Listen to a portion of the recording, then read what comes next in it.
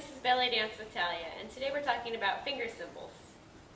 These ones here are examples of different sizes. We have the smallest ones, which are for the beginners. And the different metals will be either heavier or lighter, depending, but they're usually pretty light when they're small. The intermediate size, see, and then the more professional ones, which are really big. These are the Afghanis and the Saroyans. And the different metals will make different sounds. They also come sometimes in silver. So when you're picking them out, you kind of want to play them a little bit to hear what they sound like. You'll notice that these only have one hole to get the elastic through. So I don't particularly like those. I like the, the two holes in the top.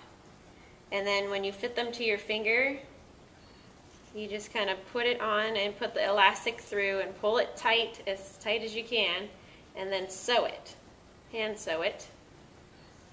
And then you'll have your cymbals. And usually they're, they're really tight at first and they get looser the more you play them. So, and these are also with, with double holes sewn on the bottom. And sometimes I like to identify my thumbs, like I'll put a little mark on them so I know which ones are my thumbs, so it's easy to find. And that's pretty much the basics of the Zills. If you have any questions, feel free to email me at taliamedance at yahoo.com. Don't forget to subscribe and to leave a comment.